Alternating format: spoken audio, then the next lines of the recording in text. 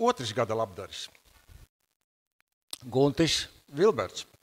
Kad nominācijā parādījās Gunta vārds, bija, kas zināja, ka viņa saknes ir Lielaucē. Viņa mamma dzīvoja Ķiedēceplī un mācījās Lielauces pamatskolā. Prieks jūs redzēt arī zālē šodien. Pensionātās skolotājs vēra vaļā vecos bilžu albumus un meklē, kurā gadā un ar ko skolu beidza Biruta apse. Bet šodienas stāsts ir par viņas dēlu Gunti, kurš Lielaucē ielido katru nedēļu. Vai nu atved sieviņu zanu uz darbu ezeriņos, vai burtiski, burtiski ielido ar dronu. Guntim patīk noķert brīnumainus laikapstākļus, zemus mākoņus, miglus, saulrietu vai lēktu, jo īpaši lielaucē. Viņš labprāt dalās ar saviem video sociālajos tīklos, un tad virs lielauces kā putni iedomās varam lidot visi kopā.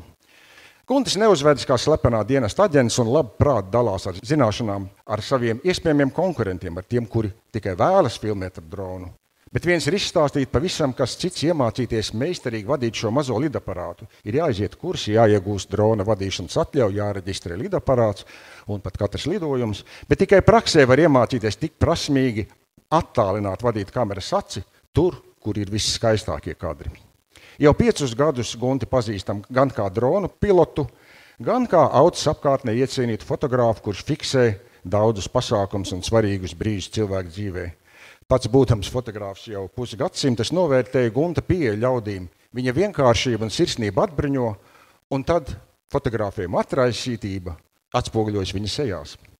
Arī lielaucē Guntis ar entuziasmu un bez atlīdzības uzņēmās atspoguļot asaru ķeršanas sacensības. Mūsu mājaslapā ir daudz Gunta tvērtas fotografijas. Gunts ir patriots, viņš vada auto Saudidomu viedru klubiņu, un šogad jau ceturto reizi valsts svētkos viņš organizēja karoga braucienu, kurš ir ieguvis daudz šīs markas auto īpašnieku atsaucību, arī no lielauces. Ar savu atsaucību, dalīšanos ar skaistajiem mirkļiem, ar izpalīdzīgumu, Guntis Vilberts ir iegūmis lielaucnieku simpātijas un arī šo nomināciju - Gada labdaris. Lūdzu, Gunti! Sveiki visiem! Milzīgs paldies par novērtējumu. Patiesi liels prieks ir darīt kaut ko labu, kas man pašam patīk.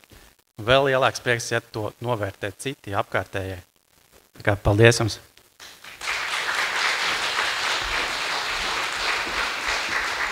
Šī vakara lielākā intriga un noslēpums. Kurš ir gada lielaucnieks?